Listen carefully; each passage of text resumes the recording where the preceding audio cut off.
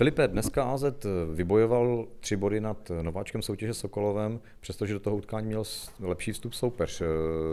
Jak ty bys viděl ten úplný začátek toho utkání?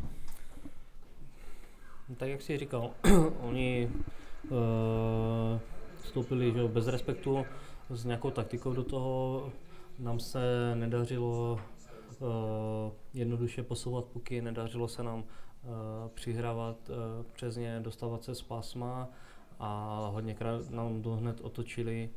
Oni chodili dobře do těch protiútoků, z toho měli šance, které se jim podařily vlastně i využít. Hlavně ten první gol tam byl hned že jo, docela brzo, naštěstí se nám podařilo srovnat a škoda toho golu do šatny. No. Ale oni hráli, hráli výborně, dobře bruslili, napadali nás tam, musím říct, že v té první třetině jsme neměli moc prostoru něco, něco právě udělat. O, o to důležitější je v takových chvílích si že přesně přihrát nebo jednoduše to dostat eh, z toho obraného plasma, což to se nám ne, nedařilo. No. Uh-huh. Uh, takovým jedním z těch mála světlých momentů té první třetiny byla vyrovnávací branka Azetu. Uh, jejímž autor si byl ty, to byla sehraná akce, kdy je tam je zavezený kotouč při přesilovce, nebo to vyplynulo nějak z toho okamžitého postavení hráčů?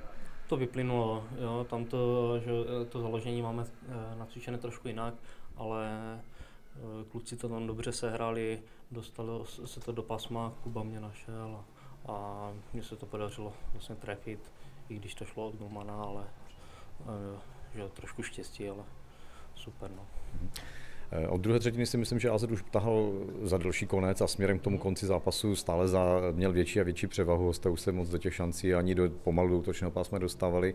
Přesto to do 54. minuty bylo pořád 2-2. Eh, nehlodal ve vás už nějaký takový ten červík, třeba jako ve Frýdku, myslím, že jste měli taky obrovskou převahu, ale nakonec ten gol tam nepadl a, a brali jste z, z nájezdu jenom bod, že to třeba může dopadnout nějak jinak, nebo jste věřili, že tam něco procpete? Já teda nevím jak ostatní, ale já jsem věřil a vůbec jsem nemyslel na to, co bylo nebo něco. Uh, soustředil, soustředil jsem se na každé to střídání a myslím, že všichni. Uh, dobře jsme dobře jsme uh, vlastně plnili tu taktiku, kterou jsme si pak řekli, že budeme hrát. Drželi jsme se na puku, nějaké šance tam byly a vlastně ta naše trpělivost, jo, s kterou jsme to hráli v tom pasmu jejich, tak uh, pak to přineslo ovoce. No. Máme za sebou uh, pět kol uh, šance ligy. Vy se držíte v té první pětce, nějaké čtyřce pětce, což je super. Samozřejmě, nemusí to ještě nic znamenat, ale vždycky ten začátek soutěže má svoji, jako, svoji důležitost, takže z tohle pohledu asi spokojenost. Jako asi jo, no, samozřejmě ty dva zápasy, které, kde jsme ty body ztratili, tak, tak nás samozřejmě mrzí, protože si myslím, že jsme tam mohli i v té průběhu hrát body, ve Frýdku samozřejmě, ale na druhou stranu asi bychom měli být pokorní s tomu, co máme zatím ale, a pokračovat vlastně v té práci a makat. No. E, teď těch zápasů je strašně hodně, e, změnou systému je ten začátek soutěže ještě důležitější než v těch předešlých sezónách, takže jsme rádi, že se nám daří aspoň takhle, ale, nebo ale je to právě tím, že celý ten mančap maká, všichni hrajou zodpovědně a dělají to, co mají a to, co si řeknou. No. Mm-hmm.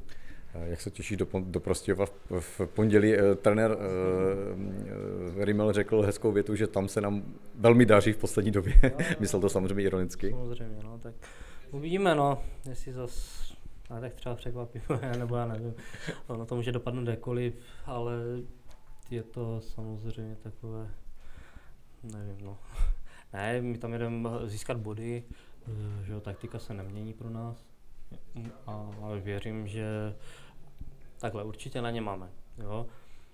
Teď jde o to, jestli se nám podaří vlastně uh, nastoupit bez zbytečného nějakého respektu a hlavně bez těch myšlenek na to, že jsme tam nevyhrali třeba 10 let, nebo já nevím, jak dlouho to je, jo.